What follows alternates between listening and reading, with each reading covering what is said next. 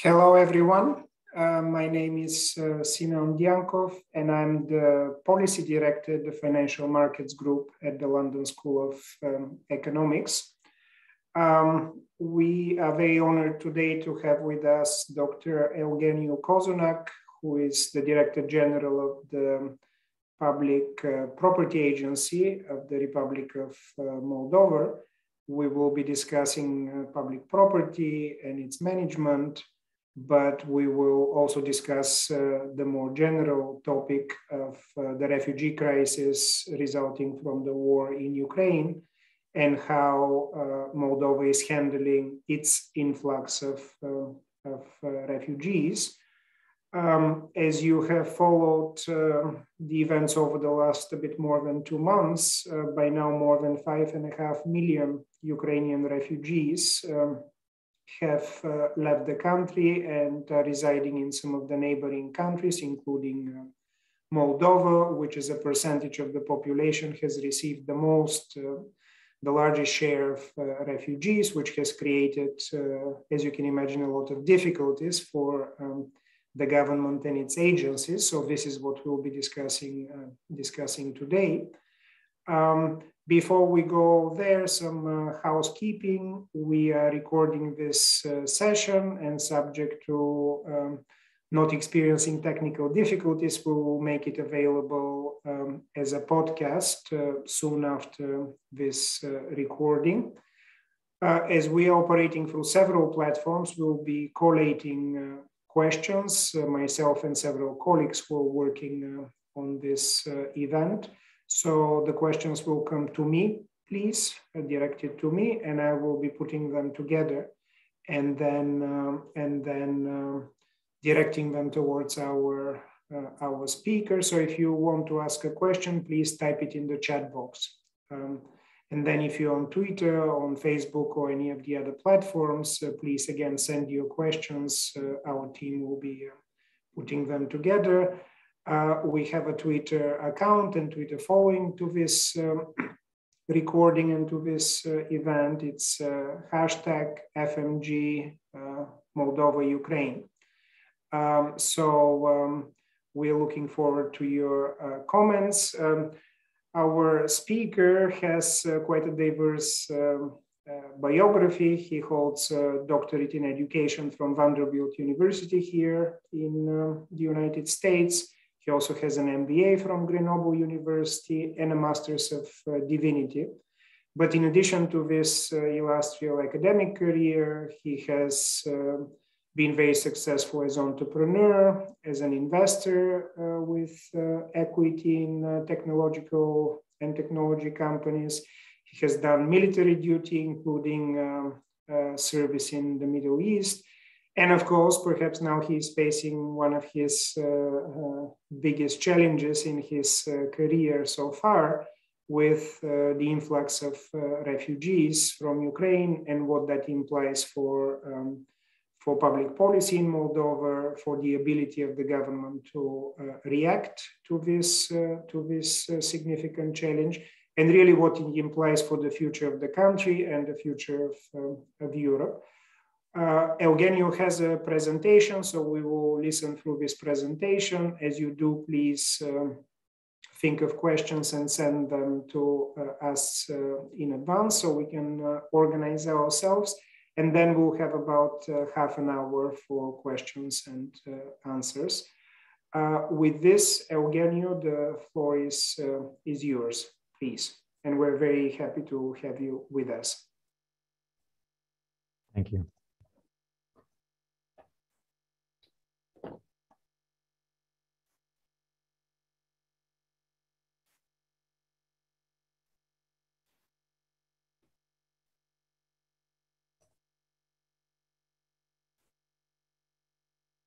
Can you see the slides well? Yes, it looks very good. Perfect. Hello, everyone. Uh, it's great to be in this uh, in this place with you in this virtual location, but uh, it's good to know that there are people who care for the people of Ukraine. Um, and I'd love to share you with you some of my experience of working with Ukrainian refugees through this through this crisis in the neighboring country. I also want to share some of my experience of managing on this end, the, the crisis management team, but also uh, share some of the things that uh, Moldovans have been doing and also present maybe a way forward and give you a bit of sense of what's going on and what have we learned from this experience. So I'll talk briefly about the Moldovan context of this conflict, uh, a little bit about the public property agency that I lead, and we'll talk about the influx of refugees at the initial stages and how the PPA addressed some of the challenges of managing the flow of refugees in the country, but also looking at what's next and what have we learned uh, going forward. So a little bit about me. Uh, thank you, Simeon, for your initial presentation. I am the Director General of the Public Property Agency in the government of the Republic of Moldova. Uh, I am Moldovan, though I spent most of my adult life in the United States. And before joining the Moldovan government, my professional life varied from nonprofits uh, to corporate, uh, corporate work, marketing, business development, uh, product management, uh, some military, some recruiting, just a variety of various activities um, and my initial education was in Moldova, but with graduate degrees um, in France and the US. And until last August in uh, 2021, I was uh, living very comfortably with my wife and three children in the beautiful city of Atlanta, Georgia. Uh, but a call from the Prime Minister of Moldova uh, changed all that and led me to uh, the point of being here with you today. And uh, last summer, something very important happened in Moldova, and that was the the election of a pro-Western parliament. Already, a uh, a president was elected in December of the previous year, was pro-Western, um, and together with a new president, with a new parliament, a new government was formed uh, in August of 21. And this is the first time that I felt that the values and the perspective and the goals of this government aligned with my values, my desires for Moldova. And it was the right time to come back. And so a personal call from the Prime Minister of Moldova, Natalia Gavrilitsa, asking me to lead the uh, public property agency really sealed this deal for me. And I jumped on the plane and, and got here. So I want to tell you a little bit about Moldova and uh, what I want to tell you about Moldova is that there are some things that are not going to be on the slide. These are the headlines that you typically see in newspapers and magazines when they talk about Moldova, at least prior to February of this year. You typically find out that Moldova is the poorest country in Europe, that uh, it was part of the Soviet bloc, that in some reports it is ranked as the unhappiest uh, country in the world. Uh, but that's how the media uh, likes to summarize this. And I've chosen a phrase that's become popular in light of recent events. It's a small country with a big heart. Uh, it is so named because we've absorbed the highest number of Ukrainian refugees per capita. And I want to orient you a little bit on this map that you see on the right. The capital city is Chisinau, uh, and it's in the very center of the, of the country. On the western border with Romania, uh, it runs along, along the Prut River, creating a natural boundary between Romania and Moldova. And in the eastern part of Moldova, the yellow area is called Transnistria. It's called that because there's a Nistru river running uh, along that border. So anything beyond the river, beyond the Nistru is Transnistria. And Transnistria is officially part of Moldova. Uh, but it has declared itself independent in 1992. And for the last 30 years, even though it's uh, Moldovan territory, uh, it has been aligned with the Russian Federation. It's been supported by Russian Federation. It's been secured by Russian troops. And in the south of Moldova, there's an autonomous area of Gagauzia. Moldova is home to about 2.6 million people. Um, and you can see on the bottom the ethnic breakdown here, with the obvious majority being Romanian.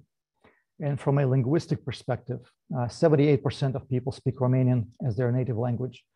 About 14% speak Russian and 12% speak Ukrainian at home.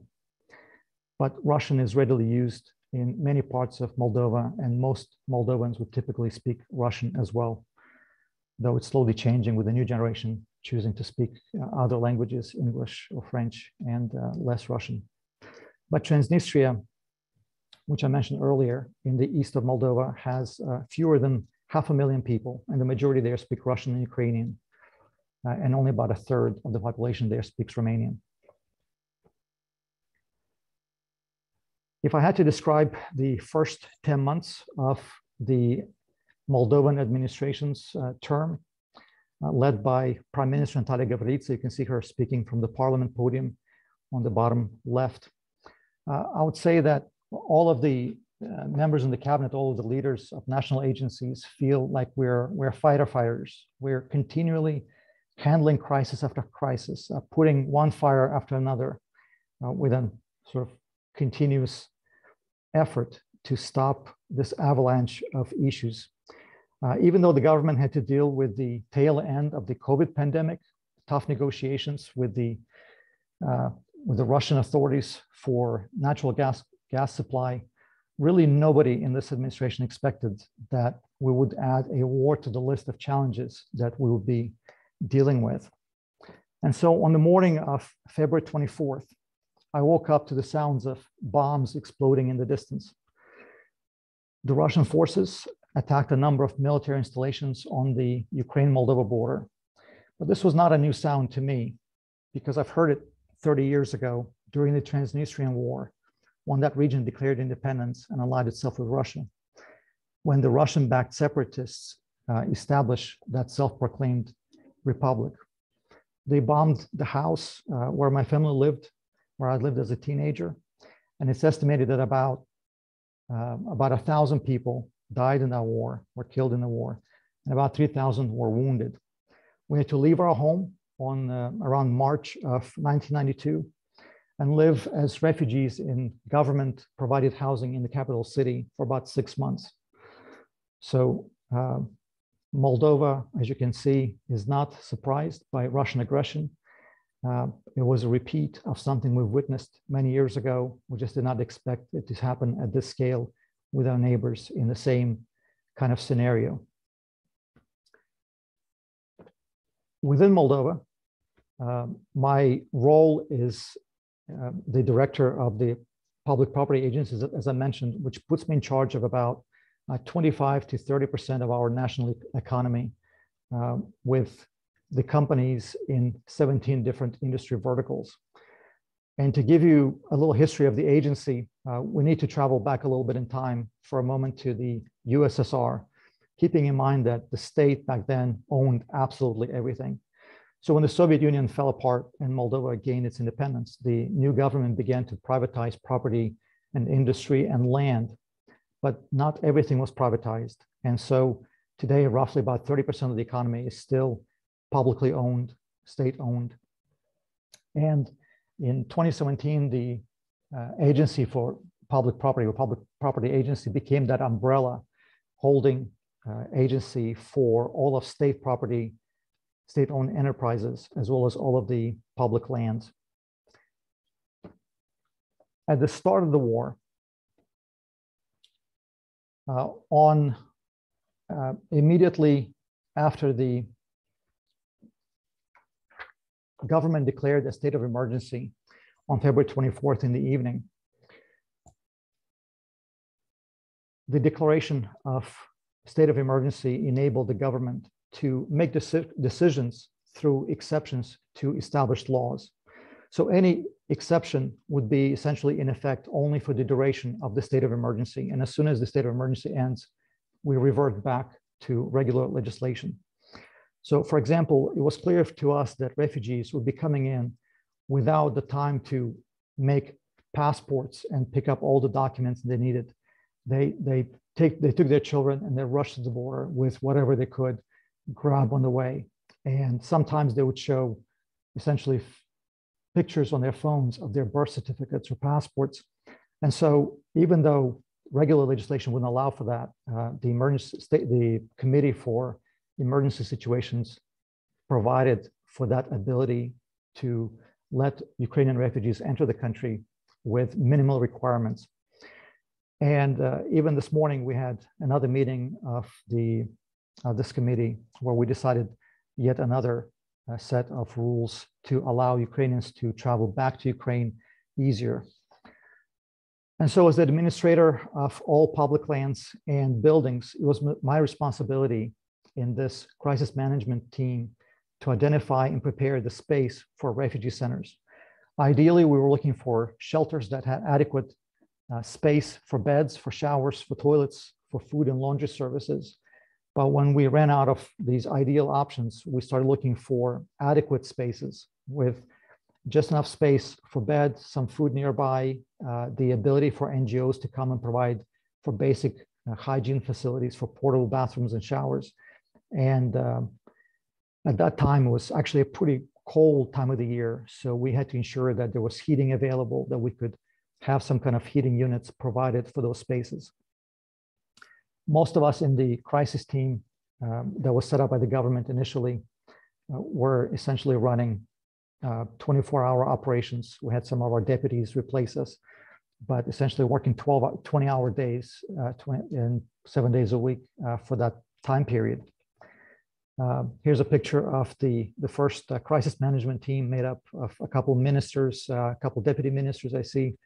The prime minister's chief of staff is on the left, the latest ending, and the, the chancellery secretary general is taking the, the selfie for us.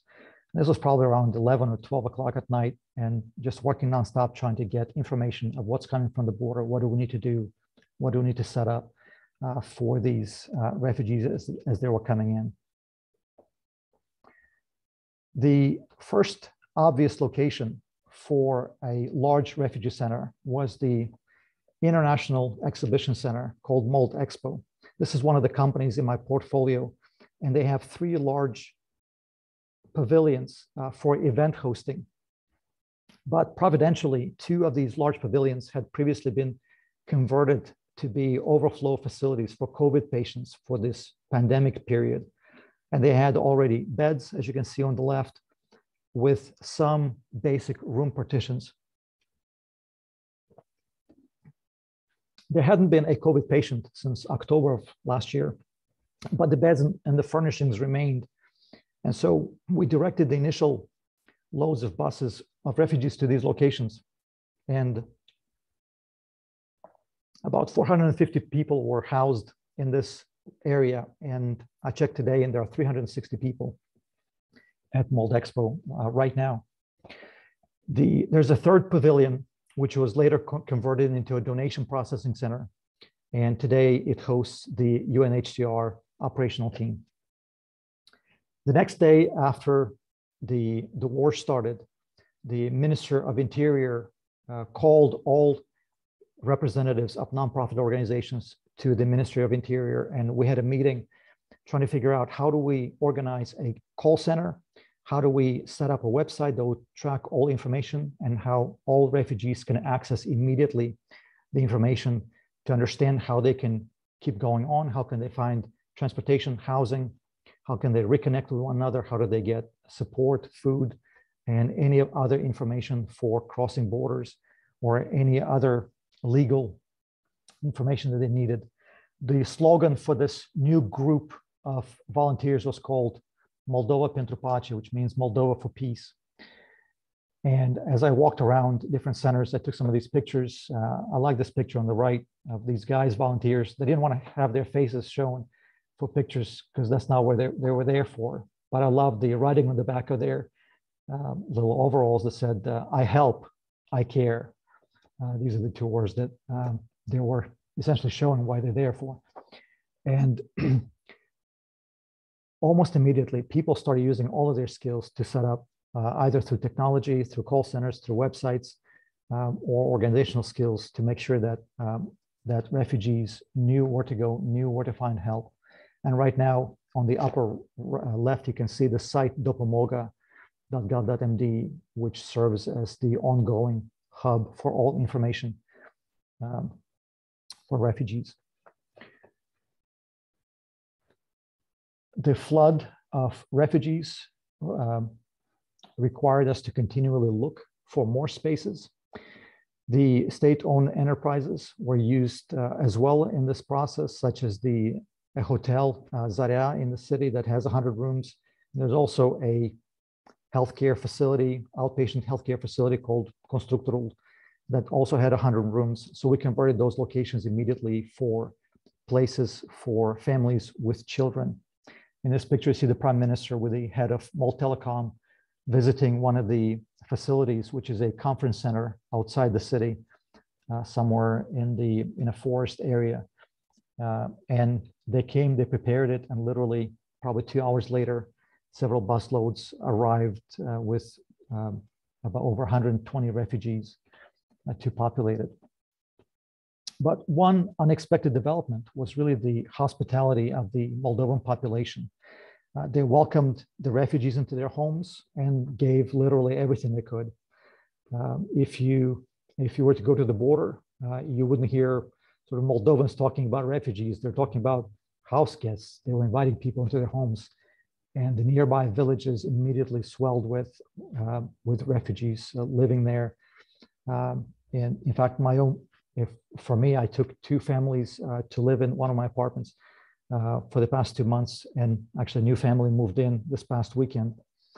Uh, but if you look at the numbers of where the refugees today are housed in Moldova, 90%, over 90% of them are in people's homes, and only about 10% are in various shelters and housing centers. Uh, but even with this overwhelming hospitality, it's difficult to find homes and hotel rooms when so many thousands of people come in. And that's where the state companies became the initial hosts uh, because they could offer that large scale operation and housing. One of these examples of a large scale uh, housing place is the athletic center called Manege, which has an indoor competition racetrack and is used for various athletic events. And in one of the early days, uh, you may have read this on the LSE blog that Simeon and I wrote about the early experience in the managing of re the refugee crisis. We told a story where uh, one of the early days we got a phone call from the border saying that there are there are several buses heading to the cities uh, to the city. It was past midnight, uh, and so what we did was we called on the railway to see if we could use their beds that they typically would use in sleeper cars. And so we had to find somebody around midnight, 1 a.m. to go open up the warehouse that had all those mattresses. Then we called the army to come in and help us carry these things. But we needed transportation. So one of the wineries, Cricova Winery, provided a couple trucks and the, the thermal, uh, thermoelectric power plant provided some of the trucks as well. And then we had the administrators open up this indoor arena so all this was taking place somewhere between midnight and 3 a.m. In a, in a really quick operation. And the beds were set up uh, so fast that when people arrived, they could come in, they could lie down, um, take a breath of air, and just rest, get some food, and figure out what to do next. The, the, the outpouring of support from the local population uh, also includes the, the diaspora, Moldovans from all over Europe, um, US and Canada started saying, how can we send all the supplies? What can we do to help um, our compatriots basically managing uh, this crisis here?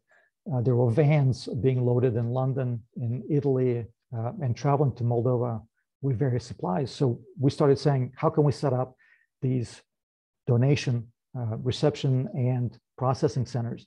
So we took several companies and used their space to set up these refugee centers. One of them was at the Railway Event Center uh, in one area of the city. We used the Technical University in another, and uh, Moldexpo had one center as well. And here you see the film studios of Moldova Film, which you can see uh, very large spaces to create film sets. But we used them and converted them into donation reception centers. But then one day somebody said, wait a minute, what are we going to do with all this stuff? Let's put it on pallets. So Glass Factory uh, came and just bought truckloads of wood uh, pallets in order for us to organize everything that was being donated. then we used the postal service that realized that they had trucks delivering the mail but coming back empty so they could start using some of the space in their cargo vans to be able to transport some of these donations uh, we had metal processing plants uh, provide some of their accountants wineries provide transportation Moldtelecom went to the border and handed out tens of thousands of sim cards with unlimited internet and started and also provided the technology the setup for the call centers for the refugee and, uh, and the volunteer hub. So all these companies immediately used their resources to take care of the ongoing and immediate needs of very large groups of people. As we started to realize that the amount of people that were coming into the capital city were overwhelming the city resources that were available. And a large, large number of people, about half the people that come that were coming in did not want to stay for more than a few hours. They wanted to keep going uh, further, and only only less than half wanted to stay for longer periods of time to try to figure out if they want to come back. Is the war going to end, or do they need to keep moving uh, forward? So we realized that we needed a way to bypass the capital city and get people to the other side of the country to Romania faster. So the railway pulled their trains and sleeper cars to the and brought them to the closest point to the Ukrainian border and waited till midnight for the train to load so that people can stay in sleeper cars, get the rest, so they didn't have to have another logistical stop in the capital city, but they could stay on the train and they were taken straight to Romania. Um, so the railway was able to provide that on a short notice. And to give you a visual of, of the flow of refugees into the country. This is the full graphic of Ukrainians arriving and Ukrainians leaving with lighter blue. And the dotted line that goes through the graph is the number of Ukrainian nationals remaining in Moldova. And as of today, there are about 93, 94,000 people in the country. So some of the numbers uh, to give you an overview of some of the statistics over 440,000 people have entered so far. And if you look at the population of Moldova of 2.6, that's about 16, 17% of the population coming through in a very short period of time, crossing the city, the, the country, and, uh, and using the resources and needing help to keep going on their journey. Uh, about half of the people that are staying here right now are children, 6% are elderly, and there have been 7,000 people who requested asylum, asylum applications, while the rest of the people are still not sure what they're going to do, where they're going to go. There are 98 uh, official housing centers, shelters, that were certified by the government and are receiving information from them and receiving support from the government. In about uh, a quarter of these centers, there are people with disabilities, and about 4% have uh, with serious illnesses. In 19 20% almost of centers have women who are pregnant or breastfeeding. Uh, and as you can tell, there's some challenges that we hadn't thought of uh, initially as, as we um, learn how to deal with the situation. To give you a very brief overview of the situation of these children, so 595 children have been enrolled in preschools, uh, to over 1,200 of them have enrolled in schools, but the majority of Ukrainian children are actually participating in online education provided by Ukraine. And people who chose to send their children to Moldovan schools, uh, of them, 120 children about are studying in Romanian. So they're learning the language and they're going to Romanian schools, while the rest have chosen to study in Russian. But the closer people are to the capital city, more of them tend to go to local schools, at least for some of the programs, while continuing online distance education uh, from Ukraine. But further away from the city, almost all Ukrainian children are in this online program. About 3,000 refugees sought medical help, uh, medical care as they arrived, and 1,100 refugees needed hospitalization uh, as they came in. Some of the more serious cases were taken from the border and transferred to Romania, as, as was the case with premature babies who were transported from the Palanca border to the city of Huși in Romania. In addition to COVID, refugees had been treated for injuries, for malnutrition, for dehydration, tuberculosis, cancer, kidney failure, as well as um, well patient treatment like those routine, like routine pediatric visits and obstetrics. And 82 Ukrainian nationals have been born on Moldovan territory. As you can sort of imagine that refugees arrived haven't been prepared for the situation, but also had, in some cases, uh, serious medical conditions. It was the state-owned enterprises that, that were able to provide the kind of scale of operation that also included medical care on site. And some of our facilities had um, a medical team on site to provide for some of these needs as we try to understand how do we need to manage some of the more um, more challenging cases in terms of disabilities or cancer patients. If we look at employment, in the initial days, we anticipated that the crisis would be brief, that the war would end. Uh, but as weeks were on um, and more of Ukraine was destroyed, it became clear that even if the war ended soon, the refugees that we were hosting wouldn't really have a place to return to. So it became clear that we needed a plan for the long term. So as of right now, 350 Ukrainian refugees have been officially employed in Moldova. Uh, the government made an exemption from certain employment laws or uh, requirements for Ukrainian refugees during the state of emergency so they could be employed faster. And I sent a letter to all of the state-owned enterprises and requesting the list of open jobs, the openings that they have, so that we could start publishing all these openings and start placing these lists in various housing centers so that people can identify some of the good matches for their skills and be able to find a job and provide for their family. On the on the left, you can see in this picture, it's a picture of Galina, who uh, for the last month has been, has been working in a garment factory in Soroca in the north of Moldova. She's an accountant from Odessa. Uh, she was an accountant for seven years, but uh, the war brought her with her parents to Moldova, and they only planned to stay only a short period of time and cross the country, keep moving on, but they ended up settling here. So, being from a foreign country, so she was happy that she was able to find a job, earn money, and help her parents. And she is able to do that because of some of these changes. In terms of finance, um, I imagine that this event being hosted by LSE numbers are something you're very familiar with and interested in. And um, so we can talk about financial the financial aspect of the, this crisis for a bit. The Ministry of Finance, uh, the website here is mf.gov.md, opened immediately an account where people from anywhere can donate money or transfer funds. And so far, about over 4 million euros have been donated uh, since the account was opened. And this money is used to support and pay for the expenses in these uh, refugee centers and to support them with any supplies that they need and also pay for transportation and other uh, things that were required.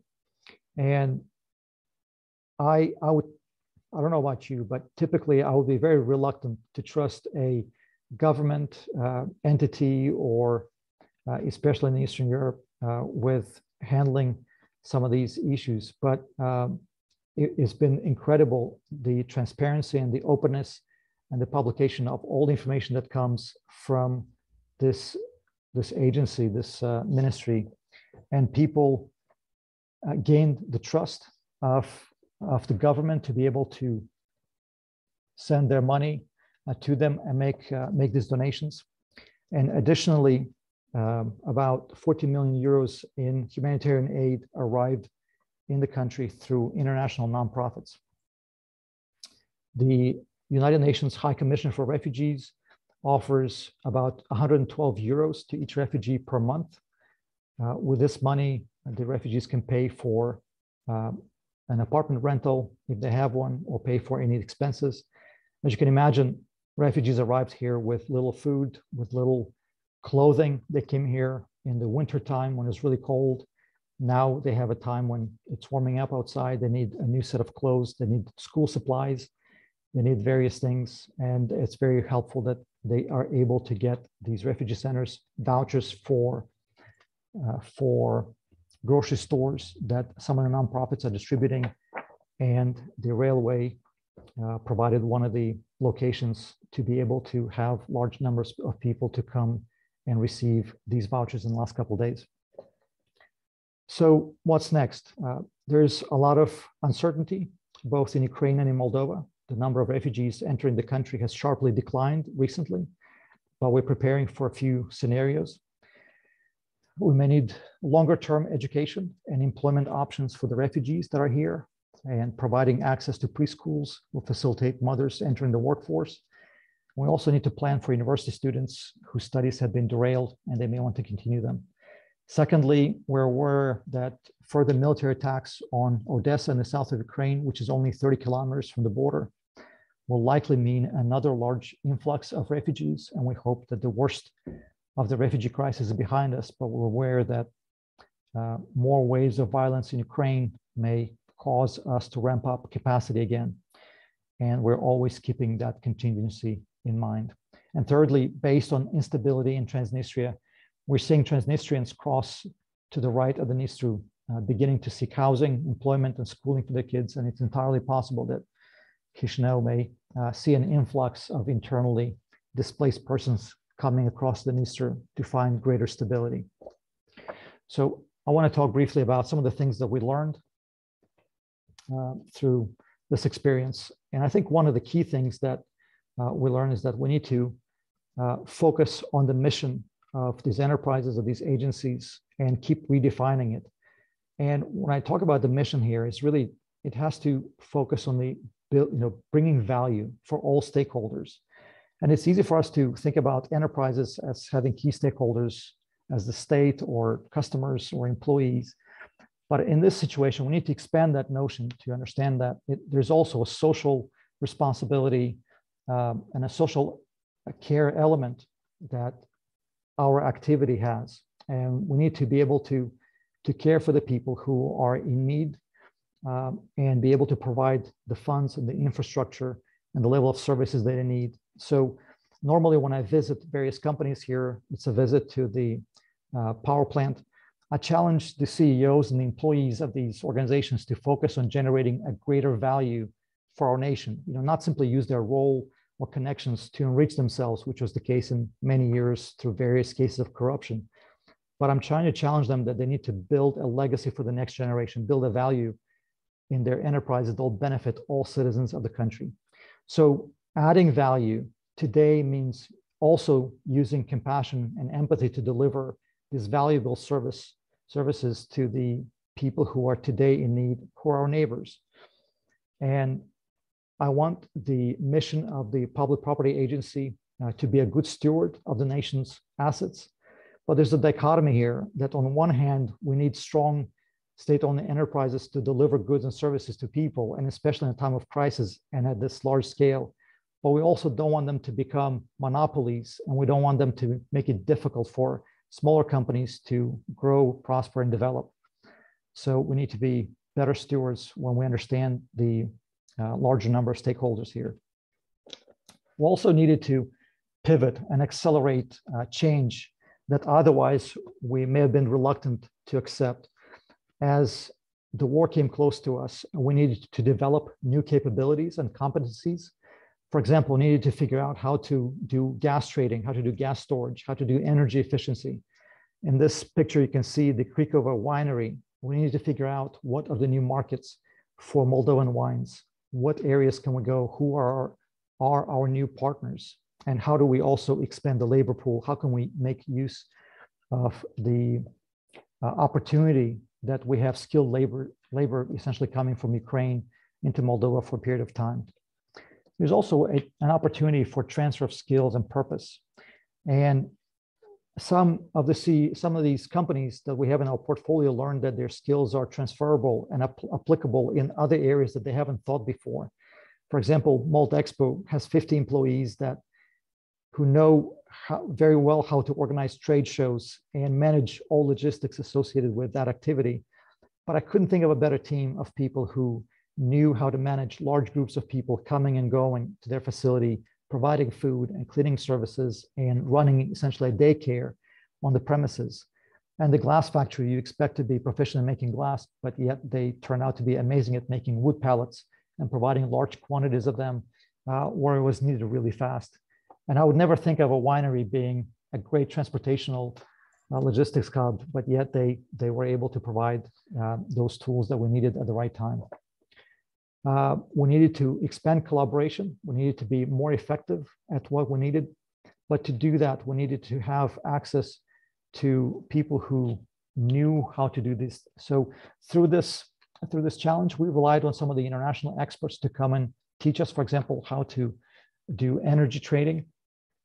Uh, even though Ukraine, uh, a lot of the op operation in Ukraine was disrupted, we relied on some of our Ukrainian counterparts uh, to help us understand how we can do some of the uh, trading platforms that we can use all kinds of um, goods to be and services to be placed for uh, public public um, trying to think of the English word uh, the uh, auctions public auctions. For example for uh, for metal auctions um, used metal and we, it was also a great test for weaknesses. Uh, when the system is stressed, you quickly find out what things are not working properly.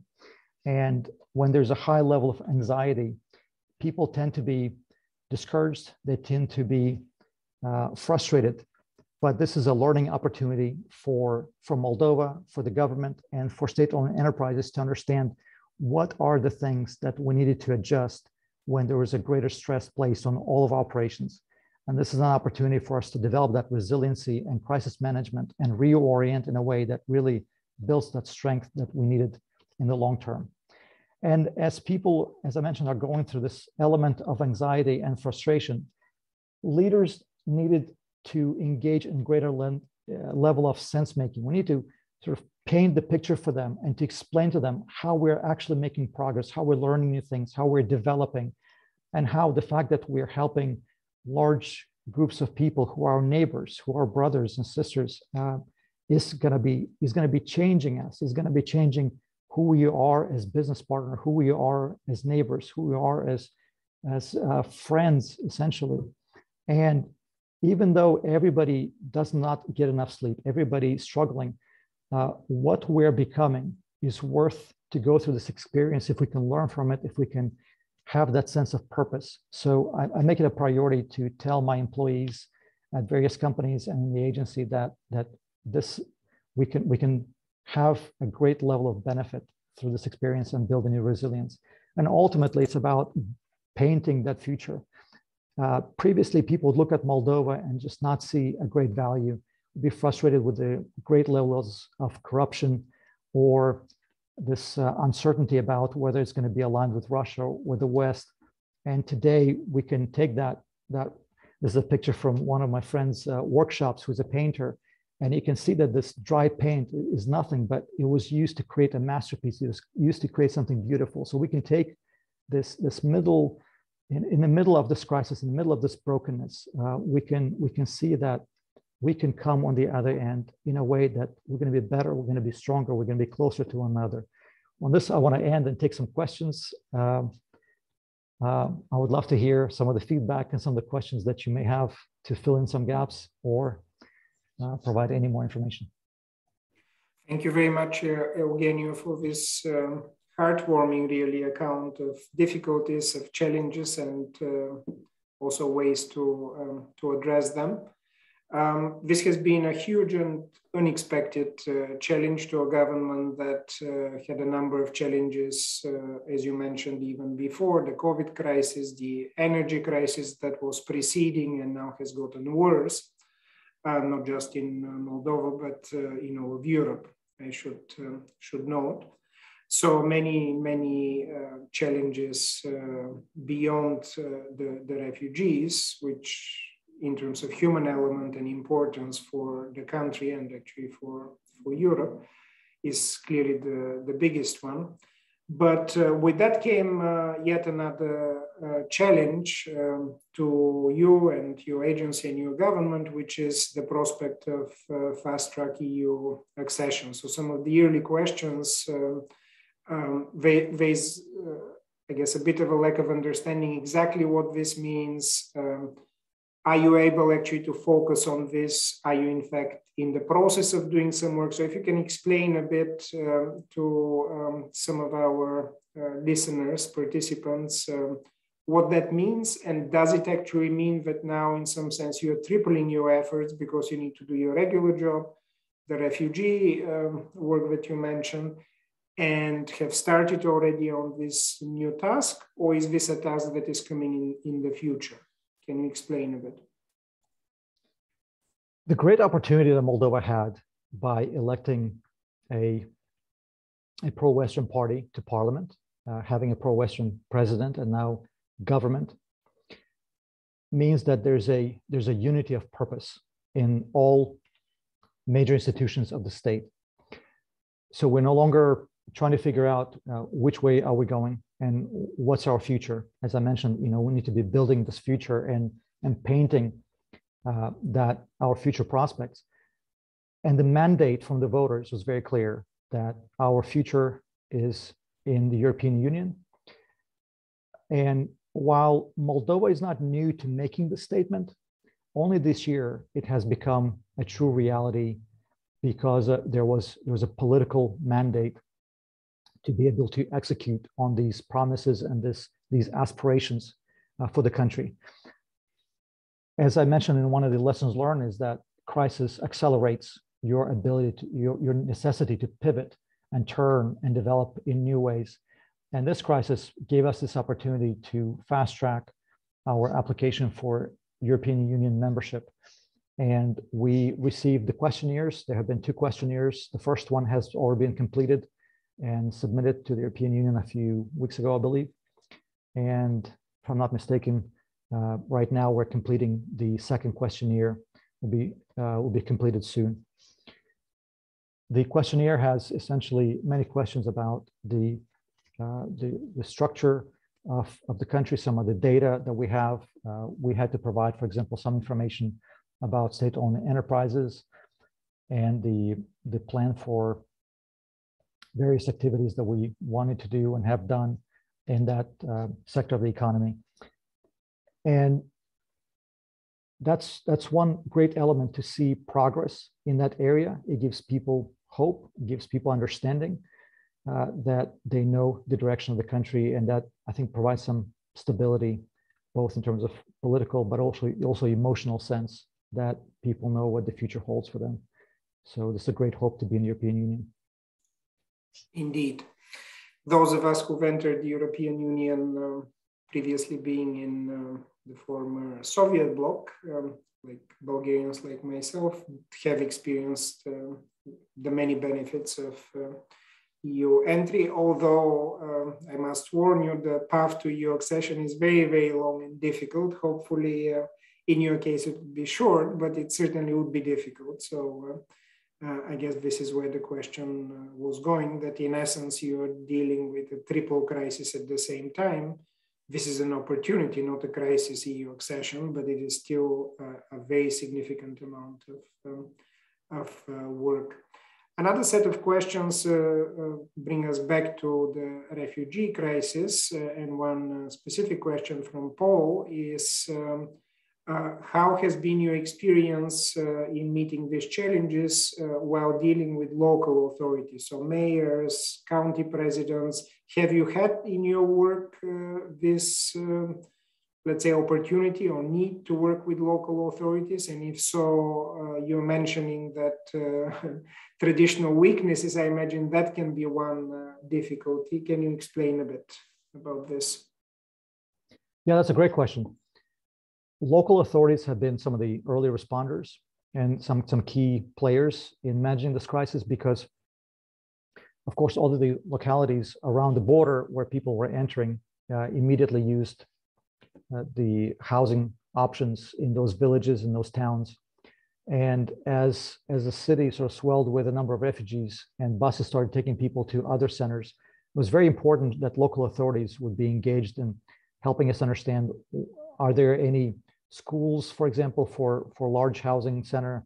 Are there summer camps that can be converted into, into those centers as well? And what are the local resources? Uh, and, and people from Ukraine had relatives in the villages and other places. So local mayors and uh, heads of regions are reaching out to the central government asking for more support as the crisis goes on because they uh, they have fewer options and the refugees are starting to come to them and asking for a greater level of support so the ministry of labor and social assistance uh, is the key ministry that manages that relationship with local authorities in terms of providing uh, various supplies uh, and funding for them. And, and honestly, if, if we talk about the next wave of refugees, the odds are that local authorities will play a greater role in providing those spaces for a large wave if you if you was to come in, because we're more or less running out of large spaces that, for example, my agency uh, has in, in, in, our administration. But uh, there's there are more smaller spaces scattered across the country, and we'll be relying on the local authorities to be able to guide us in how to provide the necessary space if there's a larger group coming in. Thank you. Um, the next set of question is, questions is uh, more specific to the work of your, let's say, the regular work of your of your agency. Um, so you have just given us a number of uh, examples of uh, different uh, state-owned enterprises that uh, have worked together to address uh, one or more of the components of the refugee crisis. This perhaps longer term uh, gives you and the managers of these enterprises ideas of how to increase value for the enterprises or the combination of enterprises. So one of our um, participants is wondering whether this uh, then uh, di- directs your attention and perhaps the direction of the agency overall towards new ways to think of privatization or uh, the usage of state assets um, uh, in different ways in, uh, into the future. I guess privatization now is uh, not foremost on your mind, but has this crisis, let me ask the question this way, has this crisis perhaps brought your thoughts in uh, ways uh, that uh, you didn't have before in how to use more effectively state assets? Yeah, this is a great question. I think we have to go back to the mission and purpose of why we have state owned enterprises, because we have to have a very clear reasoning of why the state uh, controls certain assets. And as I mentioned before, if you look at the, the ratio of Ukrainian refugees who relied on private homes, uh, private hotels, it's about 90%. And only 10% needed uh, something more centralized, maybe greater level of medical care, a specific access for disability or other things. And that's where the state enterprises were great at providing a service at a maybe larger scale and in a, way that address a social need in a way that private enterprises couldn't.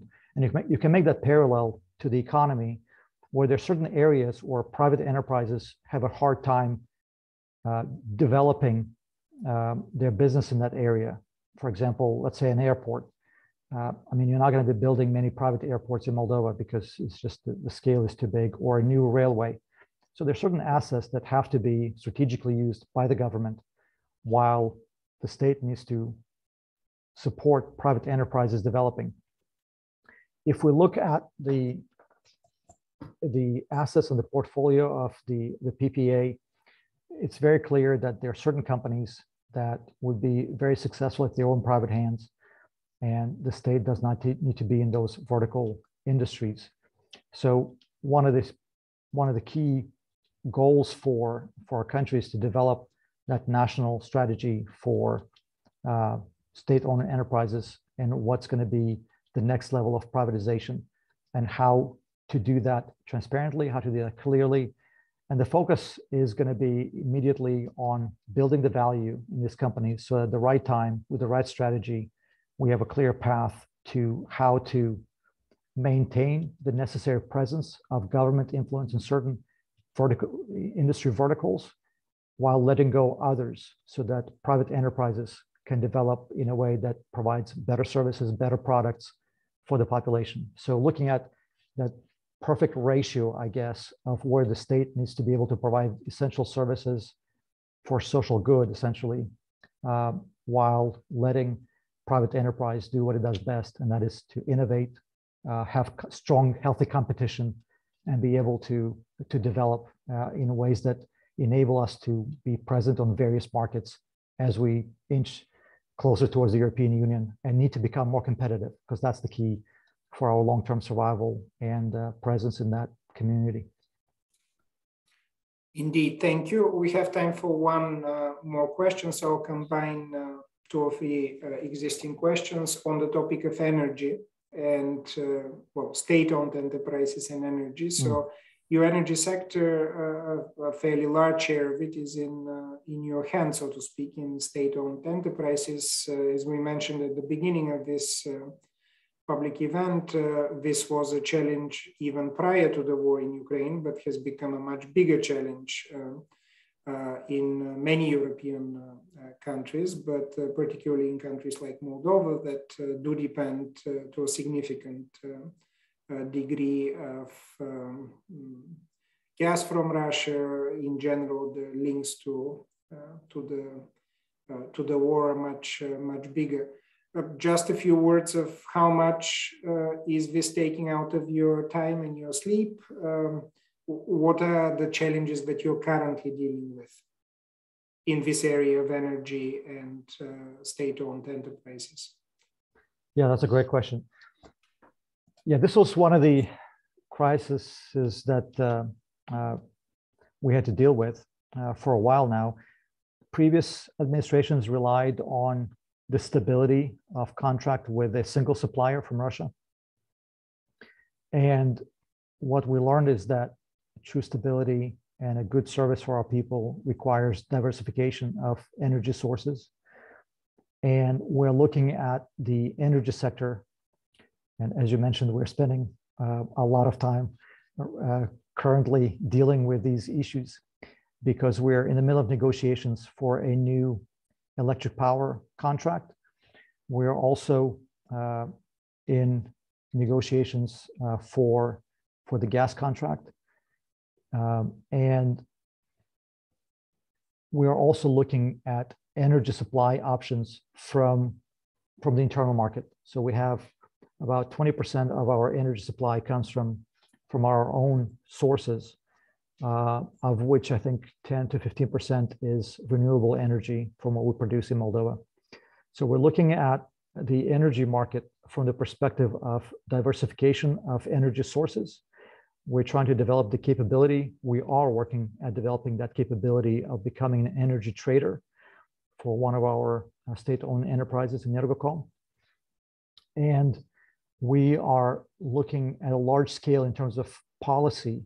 We're looking at energy efficiency uh, at a national level. Uh, for example, we have a thermal power plant, and the more houses are connected to the central heating system, uh, the more power is generated uh, through this power plant, which means uh, we can have lower cost of thermal or for hot water, uh, which in turn generates uh, cheaper electricity.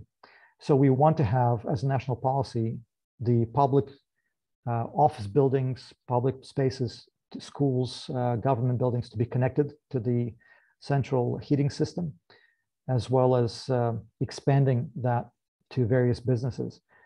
So we're looking at energy efficiency, we're looking at diversification, um, and building our own capability to be able to think in new creative ways, which also includes renewable energy. And that means uh, wind and solar uh, through various SOEs are looking at the options for solar farms that would uh, supplement their energy needs.